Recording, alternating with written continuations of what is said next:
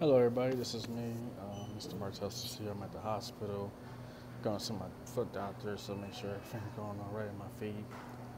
Uh, just want to say um, some positive encouragement. Despite what's going on in the world with these plagues and wars and viruses and chaos happening, I just want to send some positive encouragement, po- some positive energy, some some love for you guys, some support, some love even those who are watching, those who are not watching, that's okay too.